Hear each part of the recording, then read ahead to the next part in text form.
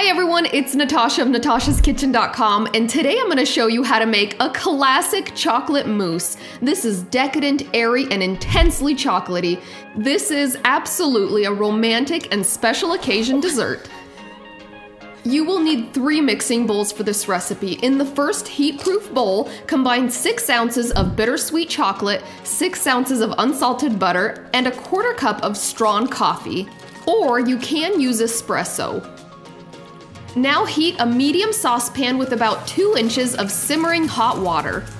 Place your mixing bowl with the chocolate over the saucepan of simmering water so the bowl is just over the steam and not touching the water.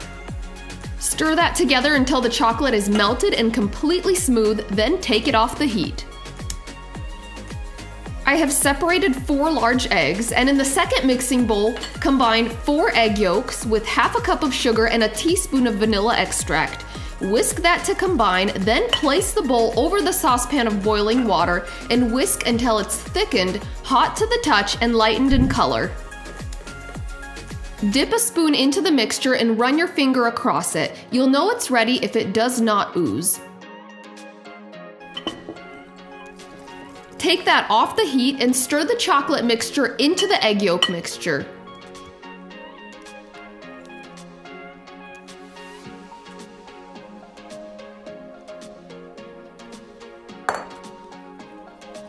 Continue mixing until it's well blended.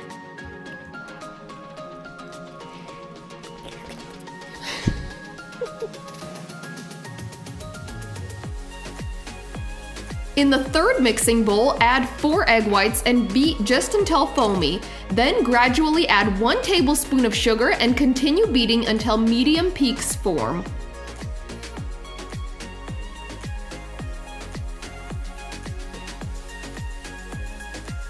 Fold the egg whites into the chocolate batter one third at a time, folding to incorporate between each addition.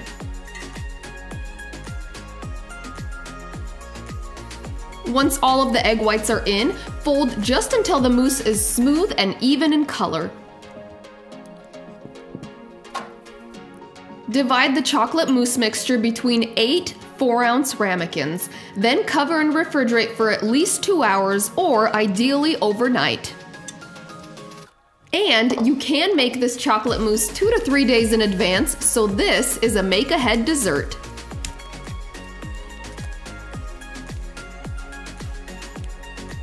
Once your chocolate mousse is chilled and you're ready to serve, make the whipped cream.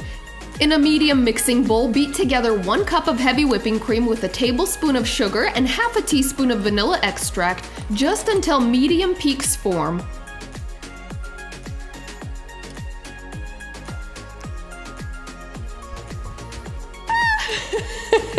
All right, these are well chilled. They are set and all we have left to do is put on the topping and enjoy them. So that's exactly what we're gonna do. All right, we're gonna start out with that whipped cream. Ooh, hoo, hoo. And these are beat to medium peaks because you want that soft set look on top of the chocolate mousse. Mm, okay, here we go and a big old generous dollop on top of each one. I'm excited. Okay, here we go.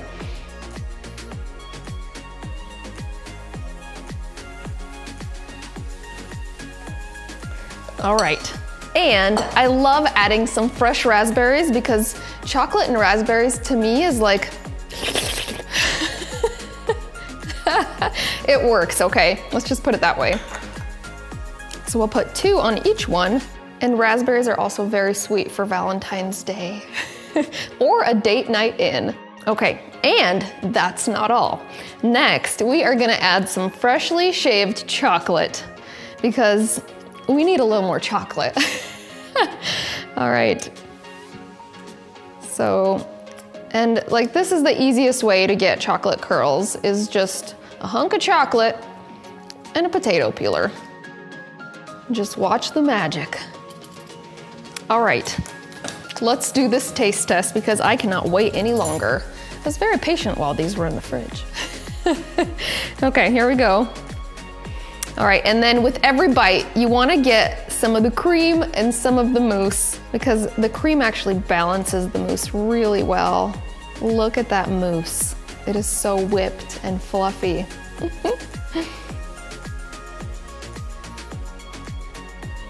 Mmm.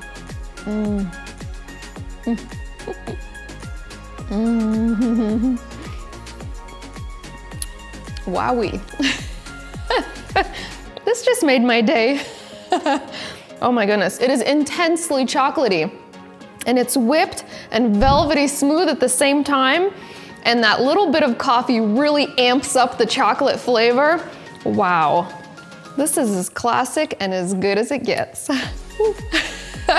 Make this and you will get rave reviews at your next party. This is easy, excellent, and highly addictive. You've been warned. If you guys like this video, give us a great big thumbs up below. Make sure to subscribe to our channel and we'll see you next time. Hey, before you go, if you're looking for more ideas to satisfy your sweet tooth, check out some of our all-time favorites right over there and right down there and click below to subscribe. And when you do, make sure you click that little bell icon and you'll get notifications every time we post a new recipe. We'll see you next time.